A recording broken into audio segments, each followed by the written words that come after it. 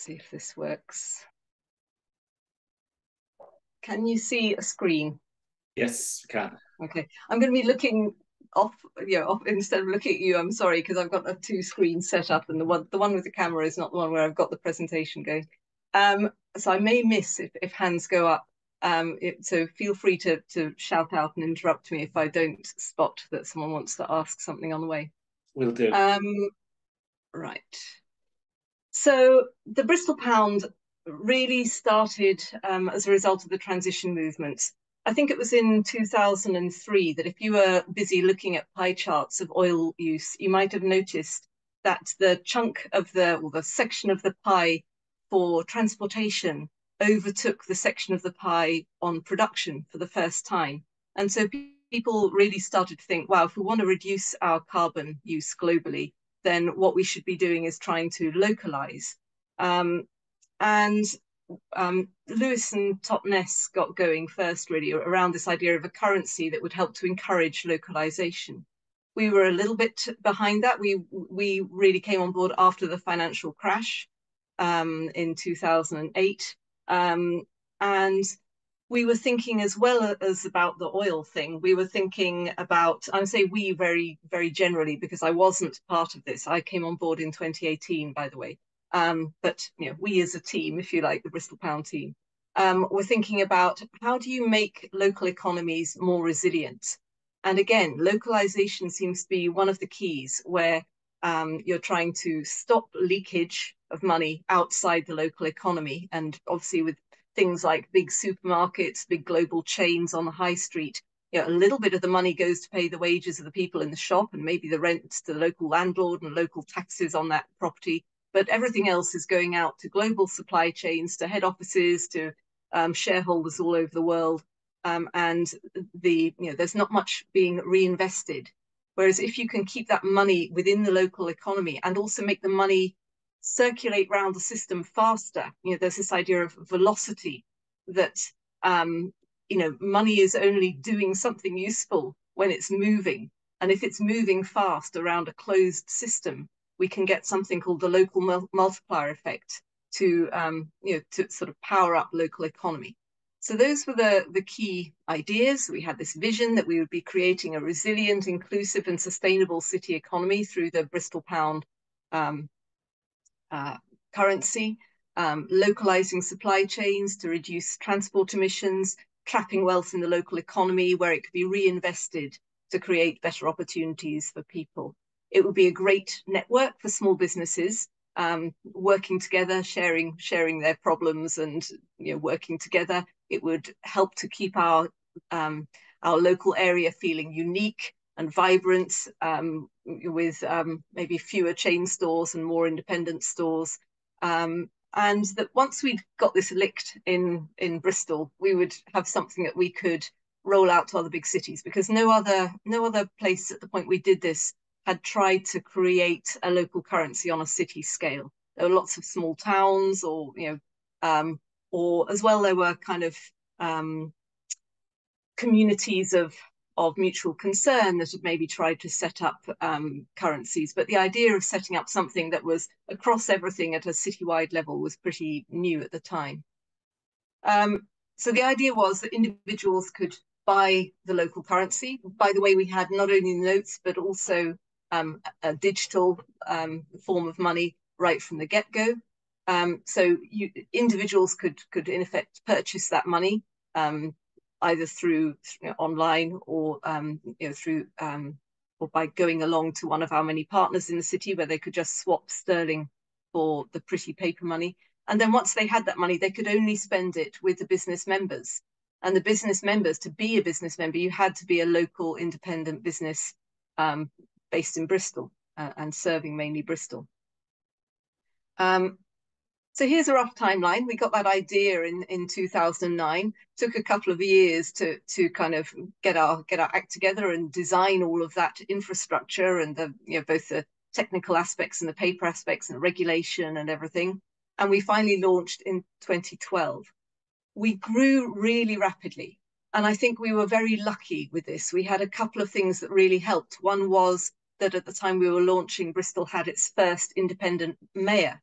Um, and I think that that you know there was a kind of zeitgeist of Bristol being very independent, very powerful, uh, and very celebratory of everything that was Bristolian. You know, uh, and as well we were successful.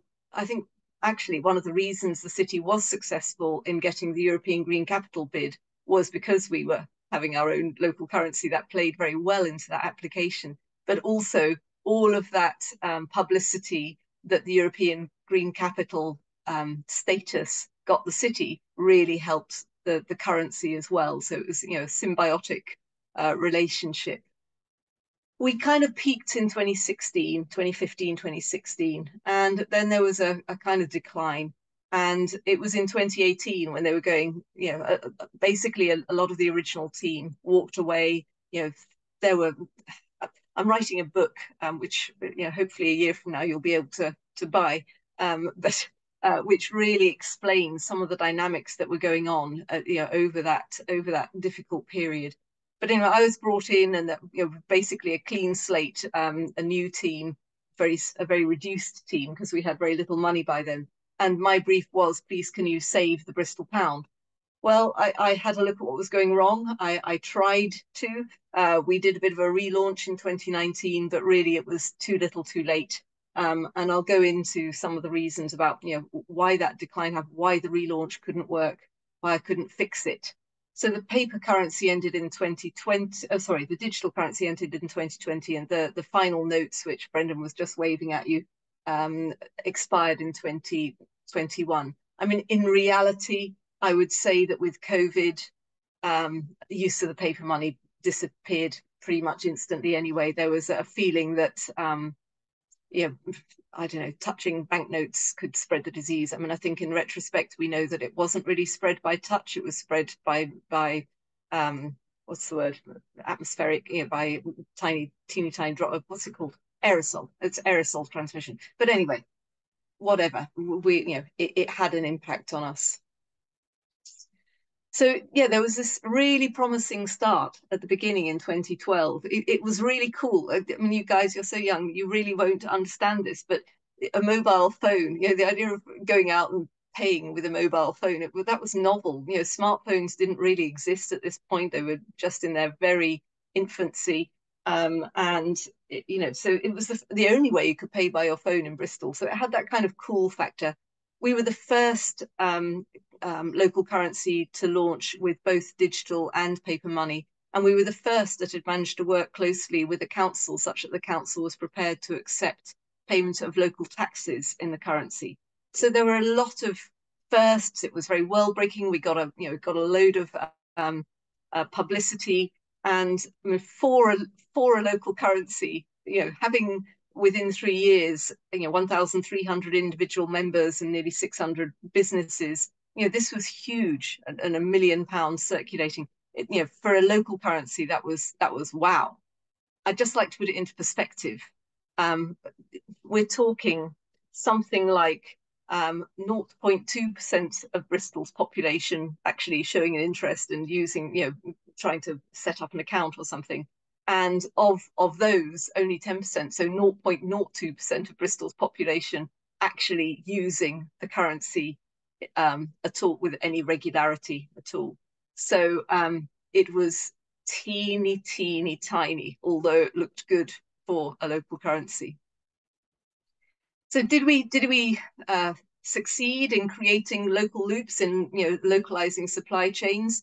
Um, I mean, I think we didn't have access to any of this data at the time, but in retrospect, we have been able to have a um, some. There, there, were a lot of data protection problems that stopped us looking at the data directly, but eventually we managed to get um, the right for an academic to look at the, some of the data, uh, at least the business to business data. And you know, he, he found that yes, um, there were some loops. It's hard to say whether they were loops that already existed that were made visible by the currency or whether they were really new.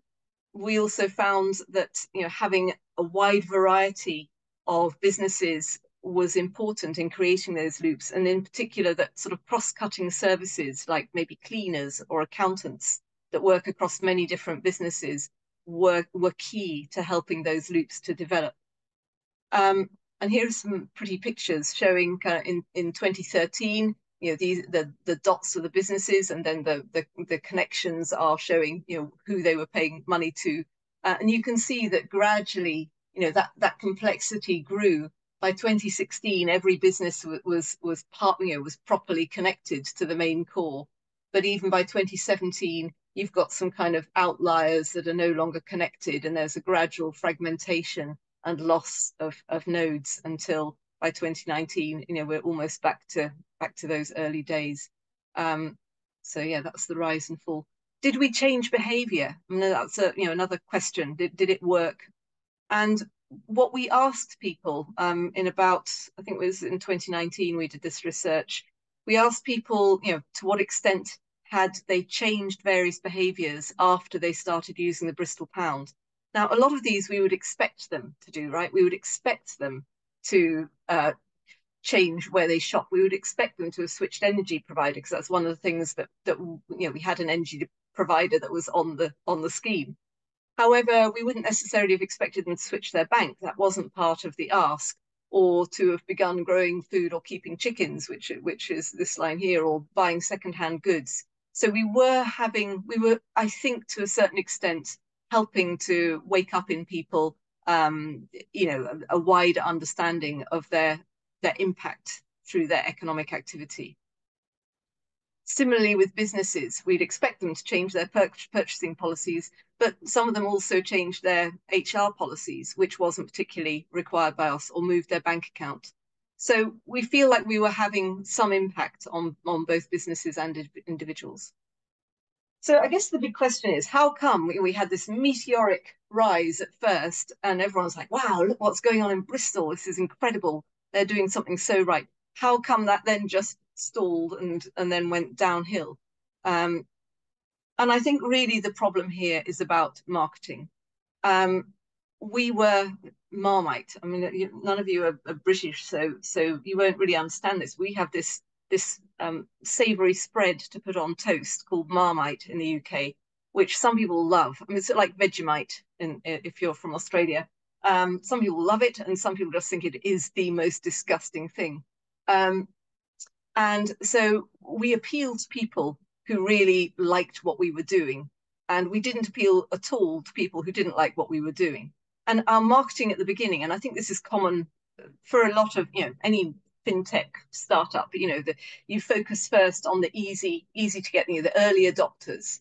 And to do that, we we honed some marketing spiel that was really focused on people who thought just like us. It sounded very campaigning. Uh, it was kind of like, don't shop at Tesco's. You know, Tesco's is is evil. You know, that they're not helping our local economies. They don't care about us. It was very passionate and it, you know, sounded judgmental. And, and if you're someone who, you know, Tesco's is your local store, you're living on a limited funds and you know you haven't got a load of time to go around the butcher the baker the candlestick maker and maybe pay over the odds for the goods that you can get very cheaply in tesco. Um, you know we, we sounded like we were dissing them in some way. Um, and so we alienated a lot of normal people. We alienated a lot of bigger businesses. Um, at best we seemed irrelevant to many many people you know to to participate in this know, local currency thing. You had to have spare time and money on your hands. You had to understand these weird economic arguments like local multiplier effect and leakage. And and even if you believe you you understood those arguments you had to believe it would work. And and you know i had a lot of conversations with people saying yeah it's a nice idea. I can see what you're trying to do. But you know I, I can't be bothered because i know it's not going to work. It's just never going to get to the right scale to actually do anything. So uh, yeah i'm, I'm not going to bother um, and here is some data which perhaps underlines this problem you know if we look at our members in 2014 40, 40 44% of them had phds or other postgraduate degrees you know this is not this is not normal cross section of society uh, you know, and, and um, over 80%, um, you know, um, had had a degree at all. Again, it's just not at all normal. Um, most of them, I think this was about um, seven. I'm, I'm trying to remember without, um, know, I haven't got the data precisely in my head. But around 70% were professional or managers, you know, so they had a good level of income. Um, and the ones who are not working, this kind of whatever percent it was here, 15% or something, they were um, they were mainly older people who were retired, not young students. Um, you know, they were people who who kind of had the that luxury um, of being able, know, having the time to shop around and things. We didn't really have a value proposition for anybody. Um, so people would say to me, um, well, what do I get if I join the Bristol Pound? Do I get like, you know, like my club card at Tesco? Do I get cash back? Do I get, you know, buy six, get one free? Do I, you know, and without that kind of loyalty scheme, for most people who are thinking within the current paradigm, they couldn't really see the point of it. For businesses, we thought we had um, a value proposition because what we said to them is, hey, you know, there's this brand new currency, join our scheme and there'll be all these people really wanting to spend their you know trendy new pretty money and they're going to be hunting out the local businesses where they can spend this money. So if you join us it's like a, a marketing boost for your business. You'll have increased footfall and you know you'll be more profitable. It'll be amazing and so a lot of businesses um, did join up on that basis but what we found out when we asked them afterwards, you know, when things were in decline or when they were leaving, you know, when the businesses were deciding to leave, um, we said, well, you know, didn't didn't lots of people come? And they said, no, no. Basically, some of our existing uh, customers just changed to pay with this slightly more annoying money um, that's harder for us to process. So um, we didn't really have a reason for people to join them that made sense. We had no value propositions. We also had really dreadful um, tech um, and regulatory issues. Um, we needed we were using Cyclos, which is you may have come across it. It's um, it's software used by a lot of mutual credit, like um, I think it was used by Sardex, the Sardinian mutual credit scheme, um, and by various other um, local currency schemes around the world. Um, but the problem was because we were trying to do this at city scale and have major stakeholders like the city council involved, we needed it to be regulated um, you know, we couldn't just say this is a teeny tiny thing and you can you know, join in if you want to. We were trying to really publicize this as, you know, uh, credible and um, legitimate. Um, so we needed to choose a partner who could give us that regulated status in the UK, and we chose the local credit union because they were socially aligned to what we were trying to do.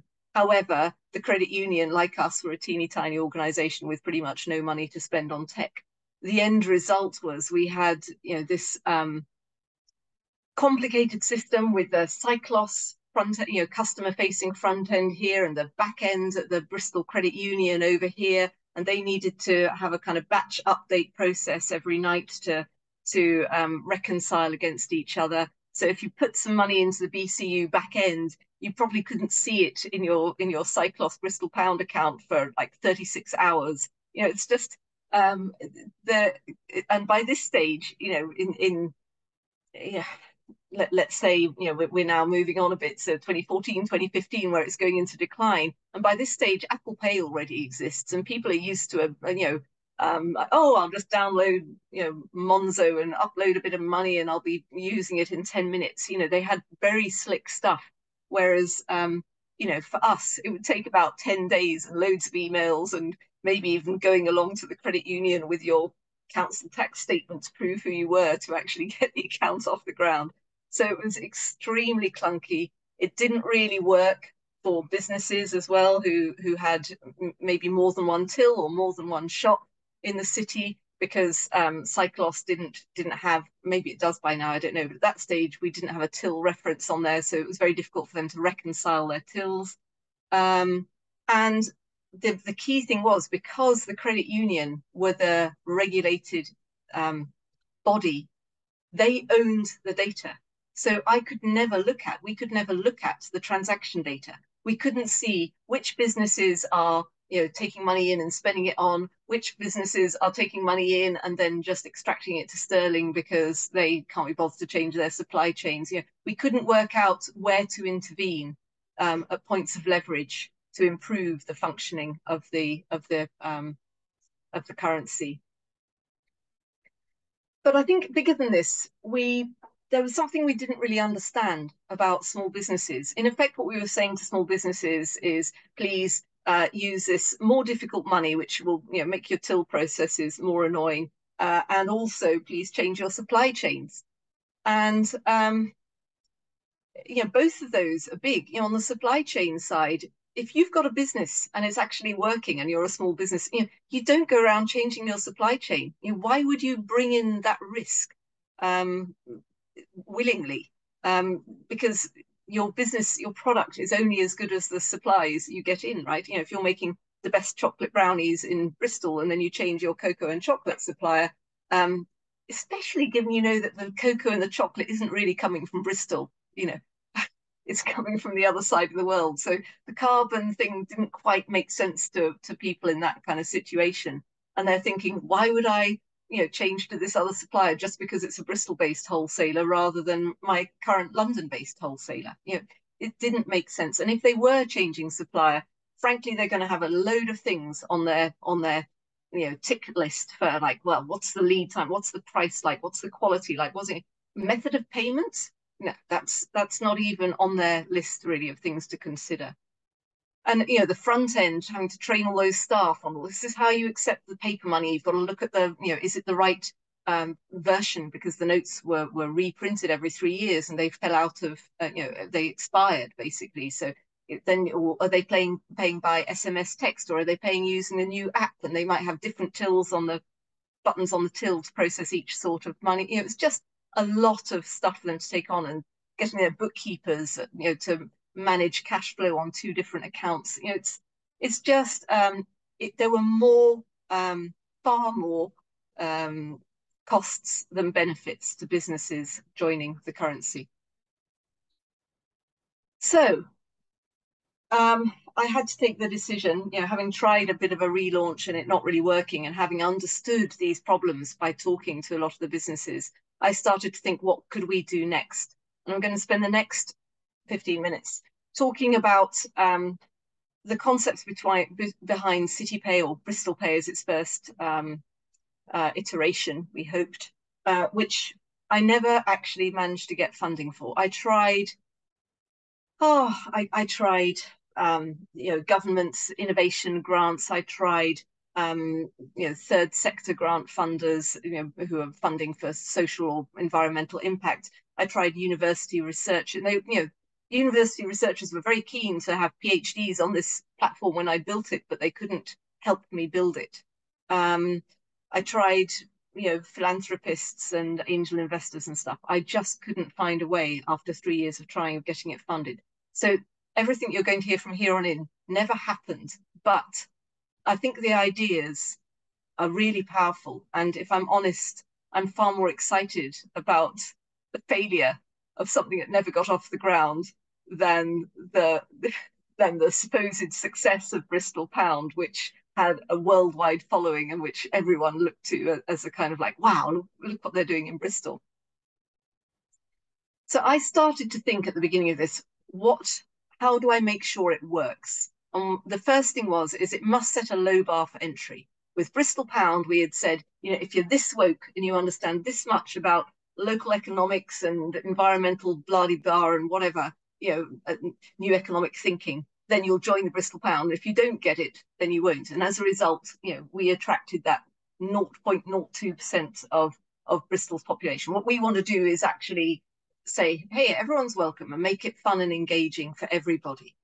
So we need a low bar to entry so that we can get everyone on board. And we must have a clear value proposition for both businesses and individuals that makes sense in the current paradigm. You know, it's no good trying to talk to people in a paradigm they don't yet understand because they're not there. We have to make something which is easy and makes sense to people who are in the current, you know, like, oh yeah, I, you know, I get my job and I go to the, you know, they're, they're just living their lives completely within what is normal today we then need to try and create some change and take people on a journey. We didn't really take people on a journey with Bristol Pound. If they thought about local economics, they were probably already trying to shop locally. And then we just gave some, them some special money, which made that more visible. But arguably, we didn't change enough behaviour. Most of the people that joined the Bristol Pound did it because they already believed in shopping locally. Ideally, we would operate at scale. I'm just going to open the window because it's looking the sun's come out and it's hot. Um, we need to be able to operate at scale partly so that we can make an impact with Bristol Pound. Maybe we, maybe we did change a little bit of behaviour here and there, but when you're only working with 0.02% of the population, that is never going to be visible. It's never going to shift the dial on anything. Um, but also, we never were viable in our own right at Bristol Pound to to um, earned enough money from um, digital payment charges to cover the costs of the operation.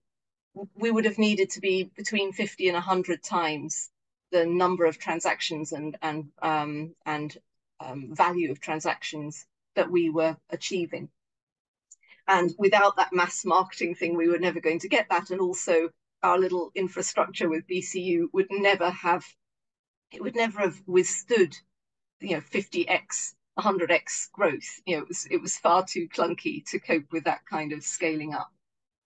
Um, so we needed better tech and that ability to, to operate at scale. Um, we need to be fun and engaging, and we must not make life more difficult to people. And we must have access to our data, not not be trapped um, with another organization such that we can't even see our transactions. So that was the kind of starting point.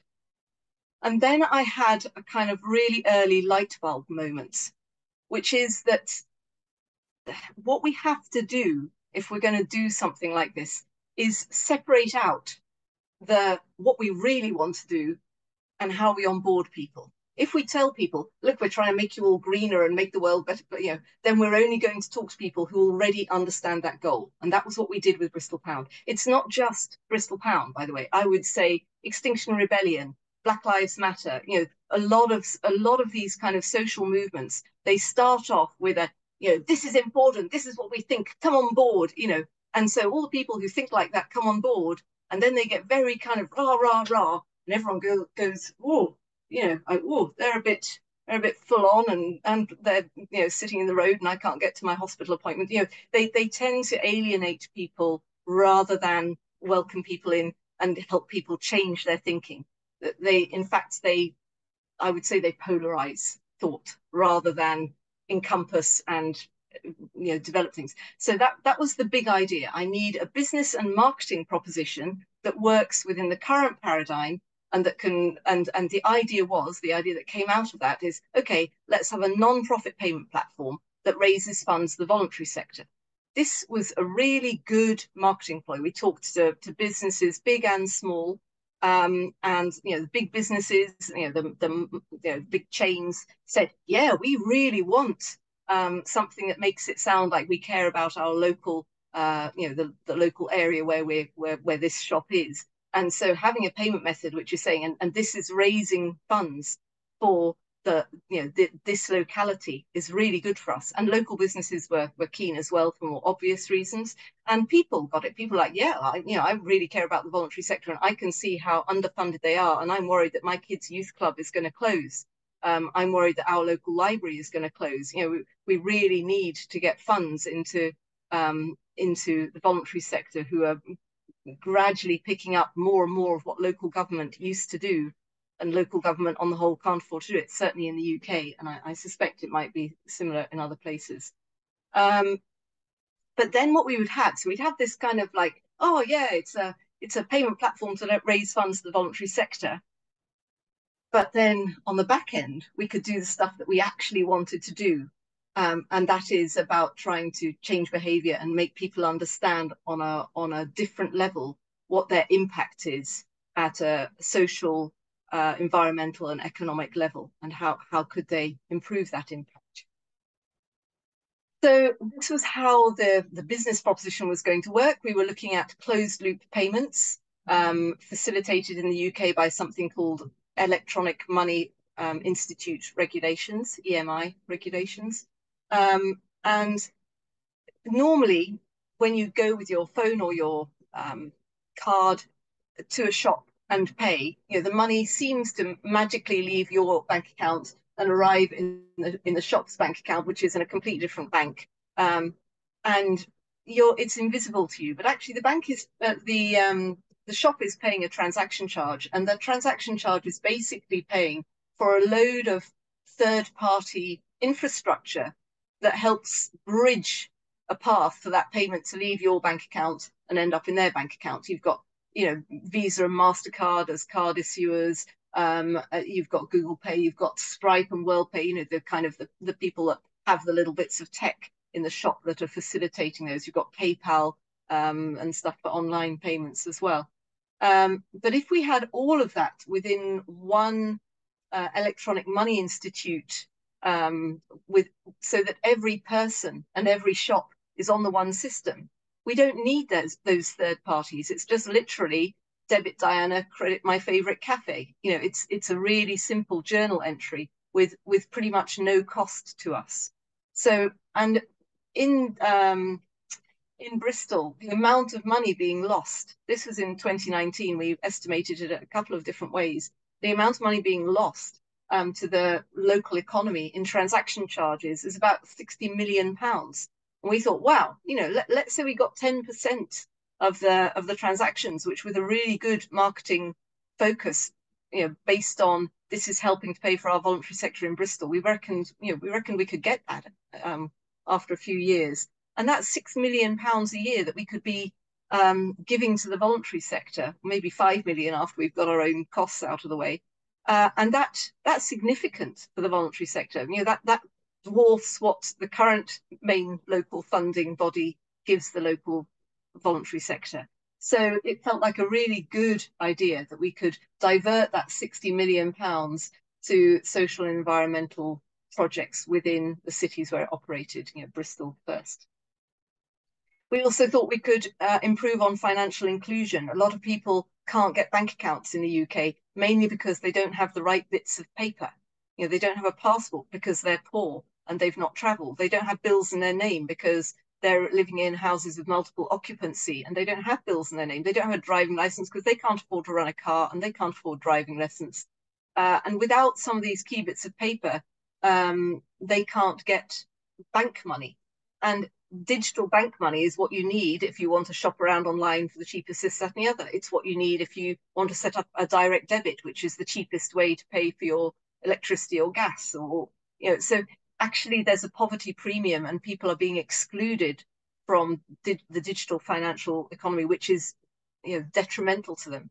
And because the EMI regulations have a much lower threshold for uh, for anti-money laundering and know your customer, um, there would be a way of providing digital money to a lot more people. So that's the that's the business, you know, the business thing that would make money and is easy to get. What is the thing that we wanted to do in the background that would try and change behavior? And this was really thinking about tokenomics. Um, and I want you to think about tokens in the broadest possible way. I am not talking about cryptocurrencies. In fact, I'm not talking about a currency as a method of purchase or exchange or trade at all.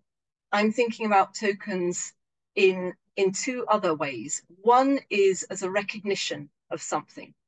So this could be, you know, if I give you a bunch of flowers because I care about you, um, it, it doesn't actually make any difference whether I picked the flowers from my garden or from the wayside. Um, or whether I spent 40 bucks extra flowers and gave them to you. In fact, you prefer it and it will mean more to you if I've gone and picked a few flowers that cost me nothing. So this is not about financial value at all. This is about recognizing another value, in this case, friendship. Right? Or it's a thing that enables you to do something. So if I have one of these uh, tokens to use a trolley. I don't need to use a pound. In, you know, in the UK, we have trolleys at supermarkets, and often you have to put a pound coin in them. But if you don't have a pound coin and you have one of these on your keyring, you can use this instead. So it's taking the place of a pound. It's not a pound, but it still enables me to do something that normally it takes a pound to do. So these are different ideas about tokens. And if we think about tokens and, and money money is just a special sort of token. Money is a sort of token that has some extra properties that the tokens I was just talking about don't have. One is it's a kind of unit of account for financial transactions, so that you know we know, you know, we can equate, if you like, a certain number of eggs with buying a kettle or a certain number of kettles with buying a house. You know, we, we can do this kind of maths because there's a unit of account. It's very easy to carry an exchange. So if you're needing to exchange stuff and trade is your mentality, then it's a great thing to have. It, it's durable, apart from in periods of hyperinflation. Um, you know, you put it in your bank and it's still there. You know, three months, three years, 10 years later, where it might have devalued slightly. Um, but it might not, it might have grown in value, right? It depends on interest rates and inflation. But the key thing is that money is a social construct and it is made for the market economy. And the problem with the market economy and this never ending growth of the market economy is that it is just rapaciously using resources, right? And uh, Alanis Obomsawin, who is a, um, uh, a filmmaker, Canadian filmmaker, native Canadian, um, she addressed the United Nations. I think it was, I think it was actually in 1970. I think the book was printed in 72, where I got the quote from. And she said, when the last tree has been cut down and the last fish caught and the last river poisoned, only then will we realize that we cannot eat money. And, and this is key, right? Money is not a real value. Money tells us nothing about anything. It is a proxy of a thing which really has value. And we keep thinking that money is a thing that has value, and we keep thinking that we can use money to correct our current economic system. We keep thinking, well, maybe if we price in some of the externalities, you know, then magically we'll have resolved this. And so we've been, you know, experimenting with carbon taxes and carbon credits now for 20, 25 years. It's done nothing. It's done nothing to even, you know, it's done nothing to CO2 emissions are continuing to rise at 16% a year. You know, when we're talking about, oh, we must reduce, aren't we doing well with with um, you know renewable energy? It's like, no, we're not. We're doing rubbish you know, carbon dioxide emissions are continuing to increase at 16% a year as we speak. And um, so we cannot price this stuff in. The whole point of a market is that prices will change and blah, blah, and everyone can carry on as normal. You know, uh, um, we need to think about the real values. So what are the real values? The real value is environmental capital, you know, uh, the quality of our air, water, soil, biodiversity. We need to think about social capital, about community cohesion, about human health, uh, about human well-being and culture. We need to think about knowledge, making sure that people are ed educated, that, that we have creativity, which has been, you know, educated out of most of the people within many Western um, um, systems of education. That adaptability that is going to enable us to, to be resilient in the face of things like climate change. We need to understand the value of already manufactured capital because without maintaining those, investing it, it doesn't give us a springboard for the next thing. We need to count the actual capitals, not the money instead. And until we do that, we aren't going to really change our economic system in any meaningful way. So Bristol Pay or City Pay was going to be an experiment in starting to get used to trying to spot, measure and count and make fun interacting with other capitals. So one of the first ideas we had was a thanks token. And the idea of the thanks token is that you would get a universal basic income of thanks tokens, you know, maybe topped up to 10 a day. And you've got kind of two sides to the game, if you like. One is you're trying to spend your, your thanks, you're trying to recognize random acts of kindness, you know, that either people you know or people you never met have done for you. You know, um, you know, my shopping fell apart as I was crossing the road and, you know, someone helped me do stuff. I could kind of, you know, say, hey, here's a you know a, a thank you for you know, the community of Bristol, um, you know, and with a little a little bit of metadata in there that we can store on the token, saying you know helped me, you know, helped me at a moment of need, kind of thing. Um, equally, it might go to an individual, and individuals could could then you know get the, this is a, a token which this person has earned, if you like, by doing a nice thing by popping to the chemist for this person who who can't who couldn't go. Um, and so they're feeling good about themselves because they're seeing that they have um, scored these points in a game, if you like, that they're doing well.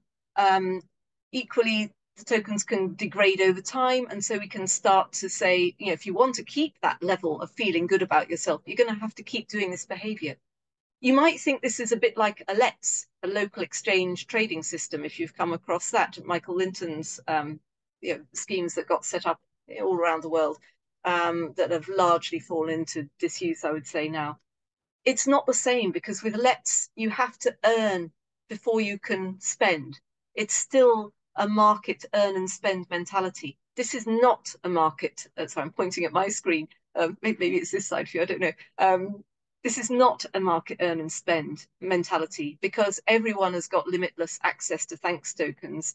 Uh, and you can't do anything with a thanks token. You know, if I've got lots of these thanks tokens because I've been a lovely person, doesn't mean I get a free latte or I can get a discount at a local store. No, they're they're completely separate to a market approach. Um, we thought about you know others. You, you, you, could use a similar thing for volunteering as well, and you know these ha having impacts. They're reducing isolation. They're building social cohesion. Um, they each have their own um, um, dynamics in terms of how each token can operate. But the key thing is they're all trying to do something. Voting was a key one. We wanted a voting token that could help um, help democratize decision making around the city. You know, these days, especially in the UK, maybe different where you are, people don't go and vote in local elections. People don't go along to their local voluntary organization and go to the AGM and make resolutions. And you know, so so a lot of a lot of decision makers are making decisions in the absence of really knowing what people think. And, and I think this explains a lot of the anger and frustration that makes it very easy for then certain politicians to use fear and distrust and you know they don't care about you as kind of narratives around their political campaigns because yeah it's true that you know people are not participating enough. So you know using this to increase that sense of democracy is important. Badges to recognize uh, you know achievements and skills. That um so extinction rebellion for example does um does training regularly with with volunteers um around de-escalation. And i was thinking wow if if we managed to make de-escalation a kind of you know popular training course. Imagine the impact that could have on accident and emergency admissions you know and uh, police interventions you know with um, you know brawls or fights or disagreements in the street or in the pub. You know people would feel more empowered and know how to intervene to take the heat out of those situations. You know so that would be a great thing to kind of recognize on the platform. Active miles to help with the you know the shift in in how we transition. Reuse so um, here's another thing showing how a reuse token might work where you could associate a token with a particular thing. I think this is a power screwdriver. Um, and maybe i've bought a power screwdriver. I've put it uh, put up my shelves and then i put the power screwdriver in the attic. And you know this is what tends to happen. You then get it out four years later when you next need to put up some shelves and funnily enough uh, the thing is seized up, it doesn't work anymore. Or you've forgotten you've got it, and so you buy a new one. And so there are stats out there showing that, in fact, the average uh, power, I think it's a power drill actually, these stats, the average power drill gets used four minutes before it gets sent to landfill. Four minutes. You know, and clearly that is an absolute waste of the carbon and material resource that goes into making the power drill. So each time the the um, in this case, our screwdriver gets passed on, the, the, token associated with the with the screwdriver can can add one. And you can imagine kind of fun league tables of, you know, who's got the best screwdriver in town, you know, because it, has been it's had the most uses, it's been repaired the most times, it's it's put up the most shelves or whatever. You know, so we could start to use data to really drive engagement in a different way.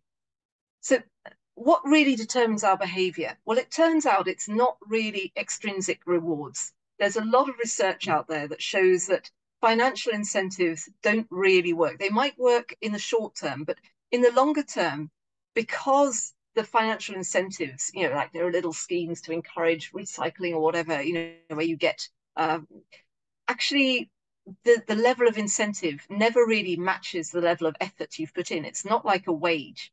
And so people if people are thinking oh i'm doing this for economic reasons and the economic reasons don't make sense they quickly stop doing the work i would point you at uh, dan ariely and james heyman who have done a lot of work on social economy around this and, and it, it makes a lot of sense um, people make more offer, offer when volunteering than when being rewarded at a below market rate. Again, that's that comes directly out of Ariely and Heyman's work. Um, the other thing I would point out is the individual and social and material um, model of behavior change, which says that what determines how we behave is what we think about ourselves, our emotional um, understanding and our beliefs about you know who we are, what kind of person we are, how we want to be in the world, um, as well as perhaps something around you know can I bothered today or you know um, then there's the social stuff around norms. You know, I, am not going to do something that I think everyone's going to go, that's a bit weird. Um, people want to fit in and do things that are consistent with their social roles and identities. And then there's the infrastructure, you know, materially, what can I do? Legally, what can I do? So if we're thinking about how do we get someone off, you know, out of a car and onto a bus, there's lots of things that we need that person to think about we need that person, first of all, not to be thinking, yeah, well, I'm not really a bus kind of person. You know, let's say this is a, let, us say this person over here is a top shot, you know, corporate lawyer. And he, you know, he's got an image of himself like, yeah, I'm, I'm somebody, you know, I'm professional. Um, you know, I want to, I want people to view me as professional. And frankly, you know, I'm a bit above going on the bus. And uh, and socially, he's thinking, I want to be respected. If I go into a meeting and say, sorry, I'm five minutes late, the number 42 was a bit late coming down the high street, um, they're, they're, just going to think I can't afford a decent car. They're going to laugh at me.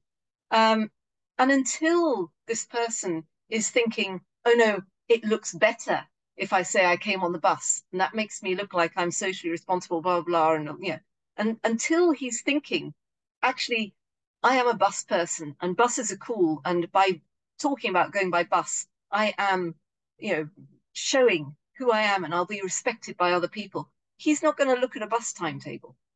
So we need to understand this, these different understandings about behavior. So just sort of wrapping up now, I'm sorry, I know I've, I've spent a bit longer than my, the 15 minutes that I said. These tokens are not about earning and spending and they're not about purchasing power they're much more like the steps on your Fitbit, which are just your personal data and you're excited about because you want to be the best you can be. They're like your Facebook likes or your retweets, or I mean, I'm not on TikTok, but I'm sure there's something similar on there, which makes you feel like, hey, yeah, my peers like me. I'm doing the right thing. I'm I'm a bit like this other cool person. I'm doing the same things they're doing, and um, um, it's like um, and with Duolingo is doing a similar thing. And Duolingo are beginning to use that data not not for you know, just for marketing, which is unfortunately where the business model behind the Facebook thing works. So I guess what I'm trying to say is these things like Fitbit and Facebook and Duolingo, they're clearly working at changing behavior. Unfortunately, they're not doing it from a point of we're trying to make the world a better place. They're doing it from a point of, you know, how do I, you know, keep people's eyes on the screen and and and sell loads of marketing stuff, or how do I sell more add-ons to the Fitbit, or how do I uh, you know, get more people onto the Duolingo thing. And and Duolingo are are capturing some overall data. Like you know, there are more people um, learning uh, Scandinavian uh, languages than than speak Scandinavian. I, I don't know. They, you know, they've got a load of stats on there which are kind of useful or interesting. But imagine if instead that we were saying, for example, one of one of the tokens we were thinking of was a three minute shower challenge. And we could then have data so, so you could look at your own challenge and maybe share that with a few friends saying, oh, you know, I've done 10 days in a row of the, uh, having a three minute shower challenge. But as well, we could publicize data like in Bristol at the moment, today, 3,800 people are doing a three minute shower challenge. And over the last month, we estimate that we've saved this many gallons of water and this many therms of gas to heat that water up to um, to, to temperature. And that's having a, a significant effect, um, you know, impact by our combined effort. So this is a way of um, of trying to get people to collaborate. Um, I'll just skip through these. So basically, people are being rewarded with tokens for doing socially or environmentally useful things, and business as well potentially. And the reason they're doing it is just to feel good about themselves um, and you know making you know, making it visible to themselves and feeling part of a movement um, where you know that people can't look at my data unless I share it. But at an anonymized level, it's starting to tell a story about behavior change across the city and making people feel part of it. At the moment, if I put up my hand and say, I'm trying to be green, and I say that publicly on Facebook, I'm going to have a load of, oh, it's just made this, thinks I'm putting my hand up. Sorry, I didn't know it did that. That's very, that's very clever of, of, um, of Zoom.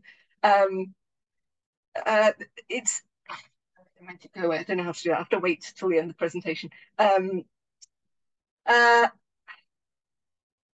I've forgotten now. I've, I've interrupted myself and lost my train of thought. Oh, yes. If I say I'm trying to make a difference, immediately I'm going to have a load of trolls and people going, Yeah, I saw you ate a beef burger. I saw you get on an aeroplane and blah, blah, blah. And you're not so bloody perfect. And so there's this, you know, calling out of hypocrisy that is just damaging anyone's ability to feel good about themselves for making whatever effort they're making. The reality is, no one within our current paradigm can live a blame-free life, right? We all have to sadly engage with the market economy. That probably means we're going to have to do some stuff that is not making the world a better place, like I don't know, get a marketing job or something. Um, um, read read David Graeber's bullshit jobs, please. Um, and um, and and then spend it at supermarkets on on ultra processed food because you know, actually today I can't get, I can't make myself dinner from scratch and I couldn't go and buy my organic vegetables or the veg box scheme didn't deliver. You know, it's just we are, we can never be perfect in the current system, but we need some data that helps us at least move in the right direction. We need a tipping point, and we think that this kind of data could help create those tipping points where people go, oh, okay, it's normal to try and take a three minute challenge. You know, there's a reason for doing this. And if we could, through this kind of platform, create that feeling of these are the emerging new normals, we could really shift things quickly. And you know, this is just to give you an idea of, of how we need to change that normality. This garden on the right here that looks overgrown, people got evicted from the house associated with this garden in the UK. It was about, um, I think it was about 18 months ago uh, when I did these slides and they were evicted for not caring for their garden. This is a blameless garden for, you know, there's no chemicals being used here. It's great for carbon capture. It's great for insects. It's a fabulous garden. Uh, however, it was enough to get people evicted. No one's get, going to get evicted from this house because of this garden, which is thoroughly neat. It is dead. It requires constant spraying with chemicals to keep it this dead. Um, it's doing nothing for carbon capture. It's doing nothing for water, you know, avoiding water runoff. It's dreadful, but it is socially acceptable. Somehow we need to shift what is socially acceptable to different things. So yeah, we wanted to create this platform. We wanted to have a kind of cooperative structure with CityPay and with the local implementations in different cities. We wanted each of these to be community benefit societies that were focused on, on the communities where they were with a kind of democratic using the voting token system to ensure that the development of the system uh, kept in track. Um, so yeah, in short, the idea behind Bristol Pay was that it would be a financial tool and a payment platform to, to raise money for the voluntary sector, but more importantly, it was going to be a highly experimental tool around shifting social norms using tokens to recognize different sorts of value, not financial value. And at that point, I will at long last shut up and apologize for speaking too long. No, thank you very much, Diana. That was really great. I enjoyed it immensely. And uh, I managed to take lower your hand. I figured out how to be able to do that, but I've never seen it work like that automatically, which is pretty cool. Um, so, I mean, there's so many challenges associated with trying to do something like this. And it seemed to me that um, you so you were trying to make it sort of easy uh, easy to enter this this scheme. Um, so uh, the lowest um, entry barrier possible. And I think often uh, we see that many in in so I guess it's in the commercial sector. The way they play it is basically um, they want your data. Your data is very, very attractive for them. So they actually want you, first of all, they'll offer you a free service uh, for whatever it is. For instance, I cycle, I use Strava, and I've got the free service there, but they just want to see where I cycle. that they can make money out of that. So that's one one part of it, and um, and that maybe in a sense was enough as a start point. Um, is that, but uh, but I suspect you had a you had a much you had a much bigger vision, but using people's data for that for whatever reason and making money out of it to fund your activity it wasn't something that you wanted to do right no no definitely not that, that, we did not want the we did not want the data to be the commodity apart from that kind of overall data that is driving social change but not commercially commercially there was no you know we wanted to protect that data from any commercial use at all Okay, I understand. Um, I mean, there was one thing that just came to my mind as you, as you were talking was that, and and it's based a little bit on the an application we have in Japan called Line. I'm not sure if you're familiar with it. It started out as basically uh, like WhatsApp, a communication tool, and then it it's added functions over time and um, it is commercial, and and so there is a pay. There's line pay, and then there's also uh, you have the commu- you have the communications tool, but then you also have a kind of a guide, a guide to wherever you are, what's available, and so on. Um, now, the idea isn't that you'd make something like Line, but that you'd have something that's sort of ethically guided by the right kinds of people who have an application that is about, well, I love Bristol and I love everything about Bristol and I want to basically be part of Bristol life and uh, and then what you do is over time you gradually put in more things like the tokens and so on but maybe initially it's like getting to know Bristol getting to enjoy Bristol eating organic food in Bristol um, participating in educational programs and so on. I wonder if that would be something that yeah. I mean that, that wasn't what we were doing because we didn't we didn't want to go down the route of you know having a, a directory of business members and you know where you're trying to encourage we wanted it to be completely open so um it was you know the pure marketing thing is use Bristol Pay wherever you can. Shops, please accept Bristol Pay because it is raising money for the voluntary sector in Bristol. Um, and we did look at trying to launch just the payments first. And we did, in fact, we spent a few months with a payment provider trying to work that up, thinking then we'll add the tokens later. Unfortunately, they had their own investment problems and it all got a bit stuck and, and we had to leave. But also, one of the reasons I think that we we ended that partnership um, when we did was because they were starting to say, yeah, well, may- maybe we'll do the tokens, but we're not terribly interested in that. And and to me, it's like there's no point. I don't. I'm not.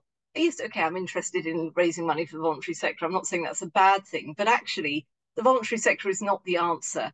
And in many ways, the voluntary sector is the papering over the cracks that uh, justifies the continuation of our current dreadful economic system that creates all the problems that the charities are then trying to correct for. So I, I'm I'm not I'm not interested in funding charities per se, and that is not my end game. So I, I didn't want to work with a payment company who already before we even got going was saying, yeah, well, the token stuff is a bit pointless and maybe we won't do it. Yeah, there's no way you could lock them in uh, to to ensure it happens. Yeah, um, unless you have some kind. Well, you'd have to try to lock them in. That would be the main thing, isn't it? Yeah. Um, with the agreement with them at the beginning. If anybody else has a question, please uh, raise your hand. Uh, feel free to raise any point. Okay, Christian. I guess maybe now that you've learned from the past, is there other plans for the future, like to re-implement it, or? As I say, I, I, I can't raise any funding. I would love to do this experiment or a similar one, um, but um, I think the problem really is that this, you know, the Bristol Pay City Pay idea is focused on a new way of thinking about you know capitals other than financial you know it's it it doesn't, you know, it fits a little bit into the current paradigm, you know, with that kind of um, entry point being, oh, you know, let's raise money for the voluntary sector. Um, however, by calling it a non-profit payment platform, that immediately means that nobody really wants to invest in setting it up because they're not going to get a return on investment. So the only way to fund it would be through voluntary sector funding, and voluntary sector funders uh, were kind of saying, well, they would ask questions like, how many people with poor mental health in Bristol are going to have better mental health in three years as a result of your project? Or how, you know, and these are not, you know, like, well, maybe it will. It's hard to know what the, you know, until I decide which tokens we're doing, which depends on what people vote for, you know, uh, or what, what charities want to get involved with, with our work. It's really hard to say. Um, so I, I found it very difficult to get funding within the current paradigm because we're working in a completely different paradigm. And so, yeah, I mean, I'd love to do it, but I have no idea how to do it. I've spent three years trying to, trying to work out how to do it and, and ultimately failed. So, I mean, I've had to get another job um, to pay the bills. I'm going to be writing the book of, of all of this stuff, which will go into a bit more detail. I mean, you probably could tell I could talk about this all day. Um, um, so yeah, I'll write the book and I hope that someone else will find a way of doing something similar because, you know, ultimately, I guess what I really believe is that planet Earth is a commons. You know, there's, you know, 8 billion or however many of us and one planet Earth. And we want it, we want our children, our children's children to, to have a functioning Earth by the time it gets to them that is able to meet their basic needs. Uh, and at the moment, we're in severe jeopardy of that not being the case. But most people are just carrying on not knowing. And we have a governance system for planet Earth called the global market economy, um, which is a way of distributing the resources of planet Earth to the people, right? I mean, if that's the if that's the aim, how do we use the resources of planet Earth to make a sustainable future for the people and all life on Earth? Then we currently have completely the wrong governance system in a global market economy. What we need is a global commons economy. Uh, and to do that, we're going to have to start to think about things other than financial value. We're going to have to think about you know, responsibility and um, creation of values, environmental value, social value, you know, values outside of financial value. Uh, and that could be the basis of a commons economy. But that is going to take, you know, it, it's taken 500 years from, you know, little kind of small scale local trade and exchange to get to a global economy, right? It's going to take at least 500 years to go from experiments like Bristol Pay to, oh yeah, we have a global commons economy. It's not going to happen overnight. I don't know if we've got 500 years, frankly, the, the state the world is in. But I hope that the people who are working on um, sorry, I'm talking a lot again. I think there are two aspects to, to new economic thinking. One set of people are working on, okay, how do we do, uh, you know, localization and set up more co-ops and um, improve regulation and look at carbon trading and blah, blah, blah. And how do we, you know, how do we massage the current global economic system into something which is a bit less bad and might buy us some time? Uh, or I think they think it might solve it, but I don't. I'm thinking maybe that work can buy us just about enough time to create the global commons economy, which is not a market economy. Yeah, that that 500 year transition, um, you know, is, is a long thing, but we have to start somewhere. We have to start doing some experiments now with how do we create a new governance system for planet Earth. I think experiment's the key word. We that's what we've been looking at in this course. I mean, we although we have the big picture in mind, uh, we're essentially talking about urban living. And I think one of the things about the Bristol pound that you identified earlier on was how much wealth is leaving the community, leaves the, the city. And as a result of that, the city, many parts of the city end up being deprived. And I think you've done a lot of work in that area around deprivation and so on.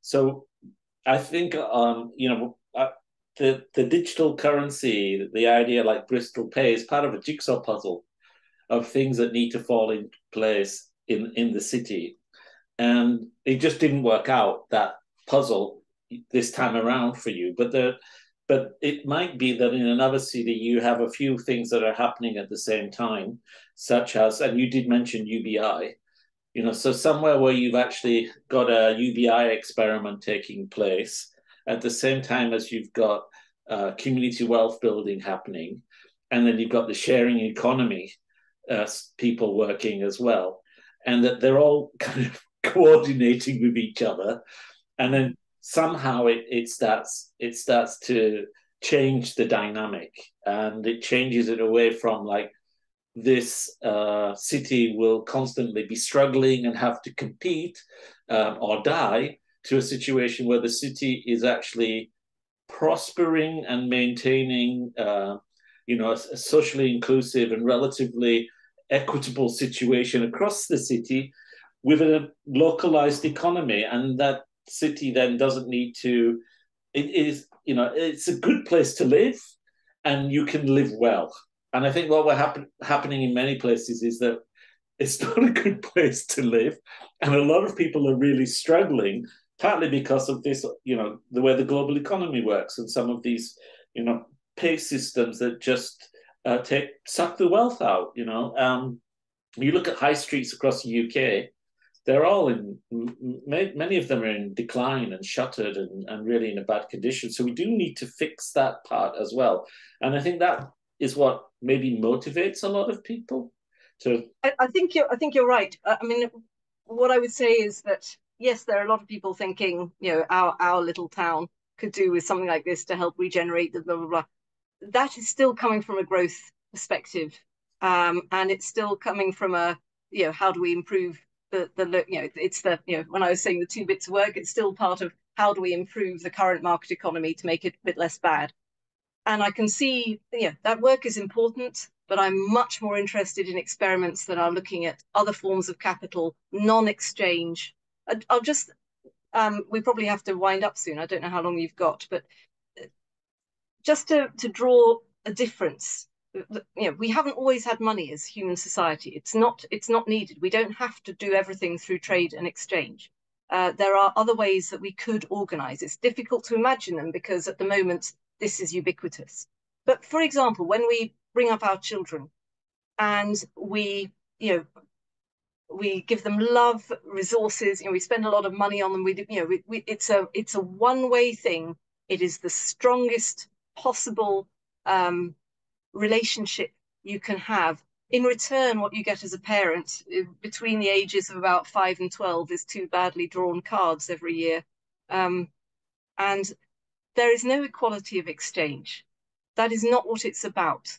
We do not need to have a global system that is based on ideas. You know, we, hear it in the in the press. of it. You know, there's this idea of the deserving poor or the undeserving poor. Well, you know, I, I'm afraid I don't I don't see any distinction at all. If you are one of the people who is unfortunate enough to be classed as undeserving because you have had a, a dreadful childhood, you have not been given the opportunity, you know, your, your parents were very poor, you weren't looked after in school, the health system let you down, you know, you, uh, and and then you are blamed for that failure and your inability, for whatever reason, to engage in our current ridiculous system where you have to go and work for someone else doing something pointless, again, bullshit jobs, just to keep the economic machine going and be on the hamster wheel. Uh, the hamster wheel which is destroying our planet. You know, I so I'm I'm a, I'm I'm interested in degrowth. How do we get away from the market economy? How do we not focus on oh equality of money? Okay, UBI is is going to be a stepping stone, I'm sure, to avoid the need for people to do bullshit jobs and to look at a, a, a strategy for degrowth. Uh, but we need to start now to, to invent and experiment with ideas that are not based on trade and exchange. Nearly all the work on the new economy is looking at how do we make trade, trade and exchange a bit better. It's mutual currencies, mutual credit, or whatever. Or it's you know cooperatives, blah blah. I'm I'm interested in. We need to do experiments in, now that are okay maybe coming off the back of those some of those experiments that are local currencies and things like like we were but how do we start to to create some very different thinking about what it means to be human and live in relation to the planet Great. Well, I mean, I think it's important to be like, super ambitious. Maybe we should, um, you know, try to embrace uh, a totally radical uh, rethink of where we and, and the sooner the better because time is is against us. Anyone else have any comments, feedback, impressions? Okay, um, Geeta. Uh, it's not really a question, but rather like an observation. Uh, first of all, thank you. It was amazingly clear.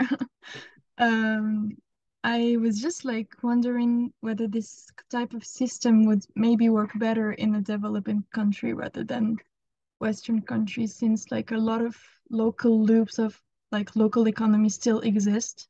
They're being destroyed because the country is like building up, trying to enrich themselves and stuff. But uh, in the case of Morocco, I could see something like this developing quite successfully because it would just be in phase with something that still kind of is struggling to survive and it will also like enrich this thing that is disappearing at this moment. So yeah. I think i think you might be right and there is a lot of local currency work going on. Um, I mean, I point you at Will Ruddick, who is doing, you know, uh, with grassroots economics, doing a lot of stuff across Africa with um, with highly localized digital currencies. I mean, it's still he's still working on trade, right? And I think this is a thing that we we very much, uh, you know, and I know you've been looking at donut economics, and I think Kate Raworth talks a lot about the, the kinds of um, evidence that we have that for countries that are that are still developing, that growing GDP actually does still um, um, improve social provision. Mm-hmm. And uh, whereas in already developed countries like the UK, continued growth does nothing to help the, the lowest in society um, have a better life. In fact, it, it tends to do the opposite. It, it, you know, inequality increases. So um, so yes, I'm sure you're right, and I'm sure that we could help instead, you know, ideally instead of helping those developing countries get, you know, develop their market economy to be as bad as ours, it would be really lovely to get in there early on and say, let's try and do some of this commons work, you know, there um, before, you know, so they don't have to go down this ridiculous route. I guess I had designed the kind of tokens around Bristol Pay, City Pay, around trying to make people within developed societies aware of the negative impacts and to learn experientially about how they could you know, behave differently to, you know, by making visible some of those other capitals and how they're affected by what they do. So um, I, I, think you're right. I think it, it could have, but it would probably look quite different. I think the kinds of tokens would be very different in different in different areas but yes, I, I definitely see this kind of experiment as needed all over the world. And I, I, I kind of have a vision that in 500 years' time, you know, instead of you know OECD and United Nations looking at different countries' GDP, they'd be looking at their social tokens and their environmental tokens, and um, you know, trying to understand which countries are actually um, doing doing the right stuff and which countries are are completely failing and need you know need sanctions or supports to to you know to to change how they operate. So yeah, I I think it's a really valid point. Thank you, Geeta. Thank you. Yeah, thank you, Geeta. Any anyone else have a comment or question? Okay, Alex. Yeah. Um it's it's, it's really interesting. I, I really find this interesting. So my my only question is like how I guess it's like, how do you convince people? I guess I'm not phrasing the question right, but for example, like Apple Pay, I can just kind of like tap like that. So do you kind of envision it to be a similar way where it's just like it's in my wallet and I just okay, okay, sorry, that's the piece I was missing. Okay. So okay, got it. Thanks. Sorry, I was just confused about that for a while. My yeah, no. The, the aim would be for that payment method to be just as simple as Apple Pay. Okay. Uh, yeah. So if you're in a shop that takes it and you've got it on your phone, you just say, "Oh yeah, I'll, I'll pay with with with CityPay," and that way, you know, I'm helping the local voluntary sector. Meanwhile, on your account, I'm, yeah, I've, I've got another thing, which I could show, which it was kind of like a a visualization of what it might look like so that then when you're on there you can see your your kind of money on the one hand and on the other hand you can see um you know like you, a summary of your tokens so mm. like you know your your three minute shower tokens right. or your you know whatever and you could go into those and and and, and be you know suggested new games or challenges that you could try like um, digging up a square meter of your garden and rewilding it um, um, or, or, whatever. So yeah, it would it would be both, but the idea is that um, yeah, that the payment thing would be just as easy, and then we kind of just nudge people towards a kind of Fitbit for their entire life. Um, on the other hand. Interesting. So it's easy to use for them to use it, and then once they're in the system, then they get to explore all of the interesting. That makes more sense. Th- thank you very much. Thank you. Yeah. Well, you can see the potential of it, and as a Fitbit wearer, I can understand how you motivate people uh, through this kind of approach. And I think that's that's really really important part of what you were trying to do, because there is this other uh, school of thought that you should ban behaviors, and um, you know, for instance, ban cars in the city centre. And I mean, I actually like that idea, but the reaction you get is a lot of negativity and conflict. So maybe banning isn't the, w- the way to go, but having something like a token that motivates somebody um, to give up their car might be a much, much better approach. And I think that's the path that you are on. Um, yeah. Yep. Anyone else? Got any comments or questions? We're getting very close to the end of the time. Sorry, I have a quick question. Okay. Hi, Gabby. Hey, um, yeah, I really like the. Sorry, I'll turn my um video on so you can see me. Um, I really like the presentation. Yeah, it was awesome. Um, I was just wondering if you've thought about how, oh, well, I suppose you probably have, but how would wages work in this kind of system? Well, in the in the long term, I, I don't believe in a wage economy. I don't believe in jobs as the you know I'm in my perfect future 500 years down the line when we have a commons economy. It is not it you know people's labor is is not something that I see being rewarded by a unit of value called money and and then purchasing things so it, it's really you know i don't know what i do see quite but it's it's a different paradigm it's a different way of thinking you know people didn't used to have jobs that were you know paid for by big business. I, you know the idea of a business. I don't, you know, there are so many. The idea of private ownership of land. You know, like there are all of these things which, to me, should not be part of that future economic system.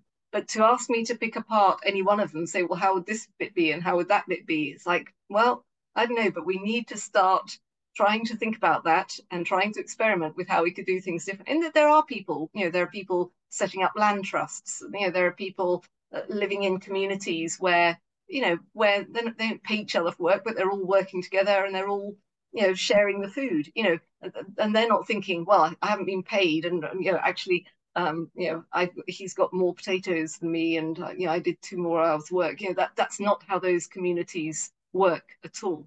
So one of the things that was inspiring to me was um, I heard about a um, uh, oh God, I've forgotten the oh, what do they call um, Neanderthal, Neanderthal community that they had found, you know, dug up in an archaeological dig, and they one of the one of the you know one of the skeletons was um, a male about 40 45 years old. And it was clear that he had been completely disabled, um, unable to you know to to walk around and things from probably age 10 some kind of accident. And you know they looked after him. He hadn't been able to to work or whatever you know but they had clearly cared for him and valued him as a member of the community. Um, you know that's what being human is about. Uh, we seem to have moved quite a long way away from that in in our modern societies and think that uh, you know some people do deserve help and some people don't deserve help. And uh, and that it's yeah uh, it to me it is it is criminal that we have homeless people in the UK thousands and thousands of homeless people. We have we have millions of people resorting to food banks eating the most crap food you know over, you know, ultra processed foods created by manufacturers who are creating low value food um, cheaply um, because I, I, I, sorry, so much is wrong and it's hard to know where to begin. And you know, it all needs completely unpicking, but that will need to be done very gradually through a variety of, of combinations. But you know, Bristol Pay, no, initially that does nothing. You know, it, Bristol Pay fits in the current system and is just then, you know, on the back end of it is this experiment about um, about multiple capitals and about experiential learning about our greater, you know, our wider impacts than just hopefully that would lead to other experiments and other experiments. It's not the solution. It's not this would solve all the problems. It is just, yeah, how do we get started on some of that work where we don't focus on money, which isn't really a value, and focus on the things that are values? Yeah, I think the uh, the radical experimentation, embracing radical experimentation across the board is probably the mindset that we need going forward from here, um, especially because there's a lot coming down um, on top of us, such as climate change, such as artificial intelligence, automation, automation and so on. So if we get fixated, um, um, we probably just will will just cr uh, crash rather than be able to ride that wave to wherever we need to go. And um, you did mention um, Grave, David Graeber's book a couple of times and recommend recommended reading for everybody. Bullshit jobs. Um, it's really fantastic. Unfortunately, he's no longer with us. Um, but a uh, great guy, great book. And uh, you mentioned it, so I thought I would share that and encourage the students to to look into it. So we're we're just at the end of uh, time now. I don't know. Um, do you have any kind of parting message for us before we end? Oh, well, um, I'm really pleased that you're all doing this course. I hope that it is helping you think critically and innovatively about how we do this. You know, I'm I'm 58. You know, I'm I'm I'm too old probably to make anything really change at this point. But you guys are at the beginning, and um, yeah, please think about your power to shift the system. Um, it doesn't take many people to create massive change. All of the massive changes that we've seen in the world have started from a few people doing some stuff. So I, I really wish you all the best in your careers and hope that you will all be bold, brave, innovative, and not care that people laugh about you and say, "What? That's a ridiculous idea. Like, uh, how you know how are we going? You know, like, just just be brave to to have those crazy ideas and uh, and experiment." Thank you. Maybe we can give the final word to to a student. Would anybody like to give some final reflection? Do I need to call on somebody? I'm looking, see who's. Uh, Craig, you haven't said anything. Do you have a, a comment just to wrap up for us here? Well, I know that uh, it's it's a it's a new topic to me. I've actually never heard of the the Bristol Pound. I was surprised how successful it was. Is actually a great project, I thought. And now this new moving forward, uh, motivating these towns to look away from how can this profit me and instead look on like how can this like be good for the world is is it shouldn't be a hard task, but it is very difficult. And so I I respect the work that's going into this. Um, and uh, yeah, I wish you. It's very complicated. Yeah, good, good luck with the book. Book. I would def. I'm definitely looking forward to reading that. And we just have to say thank you, Diana, for a really inspirational talk. No problem. I'll I'll uh, send you the slides and um, yeah, and and if any of you want to contact me, know, but um, then you'll feel free.